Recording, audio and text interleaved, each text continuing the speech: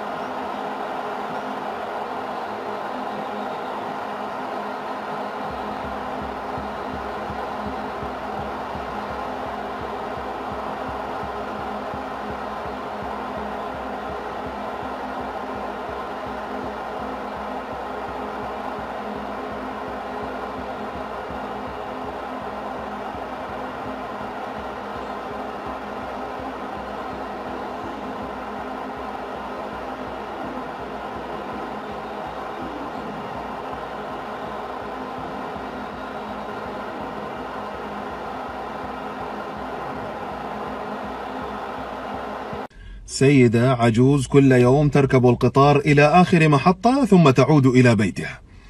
وأثناء ركوبها في القطار تجلس أمام النافذة تفتحها بين لحظة وأخرى وتخرج كيسا من حقيبتها وترمي أشياء من الكيس إلى الخارج. ويتكرر هذا المشهد كل يوم. أحد الأيام سألها أحد السفهاء قائلا ماذا تصنعين أيتها العجوز؟ فردت عليه أنا أقذف بذور الورد. استهزأ. بذور ماذا؟ قالت السيدة نعم بذور الورد. لأني أنظر من النافذة وأرى أن الطريق موحشة ولدي طموح أن أسافر وأمتع نظري بألوان الزهور. ضحك الرجل من كلامها ورد عليها ساخرا. لا أظن ذلك فكيف للزهور أن تنمو على حافة الطريق؟ ردت صحيح أعلم أن الكثير منها سيضيع هدرا ولكن بعضها سيقع على التراب وسيأتي اليوم الذي ستزهر فيه. قال الرجل لكنها تحتاج للماء. فقالت السيدة أنا أعمل ما علي. وهناك أيام المطر. نزل الرجل من القطار وهو يفكر أن العجوز أصابها الخرف ومرت الأيام تتلاحق وركب الرجل القطار وبينما هو جالس والقطار يسير إذ به يلمح زهورا قد نمت على حافة الطريق وتغير المنظر وتعددت الألوان فقام من مكانه ليرى السيدة العجوز فلم يجدها فسأل بائع التذاكر عنها فقال له البائع تلك العجوز توفيت منذ شهور. تحسر الرجل على موت العجوز وقال في نفسه الزهور نمت لكن ما نفعها فالسيدة العجوز قد ماتت ولم ترها. وفي نفس اللحظة وفي المقعد الذي أمامه سمع الرجل فتاة صغيرة تخاطب أباها وينتابها سيل عارم من السعادة قائلة انظر يا أبي إلى هذا المنظر الجميل انظر إلى هذه الزهور إنها جميلة جدا.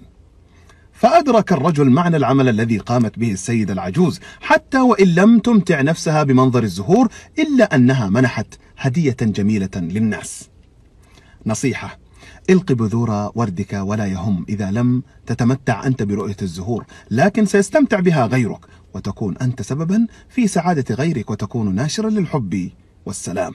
لا تلتفت للمحبطين ولا الحاسدين ولا الحاقدين ولا تنتظر الشكر والعرفان. فقط قدم ما استطعت من العمل. إنما نطعمكم لوجه الله. لا نريد منكم جزاء ولا شكورا. السلام عليكم.